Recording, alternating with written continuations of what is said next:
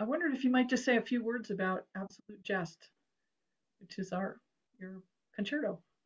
Sure. Um, well, super excited about playing it, and of course, being part of such a festive occasion, the the opening night. It's kind of the perfect piece for an opening celebration. Um, the idea of having a solo string quartet in front of an orchestra, it's kind of like combining two different universes. You know, the whole the whole town, the whole village, the whole universe, everybody coming together and you know celebrating. And the piece is very very serious, but also very joyous at the same time, which is kind of a unique um, combination of things. It expresses a real um, joy of togetherness and of celebration of Beethoven's music, um, but also a real obsession and serious love for um, uh, for Beethoven's music, specifically the string quartet repertoire. It'll be a very joyous, wonderful way to open the season.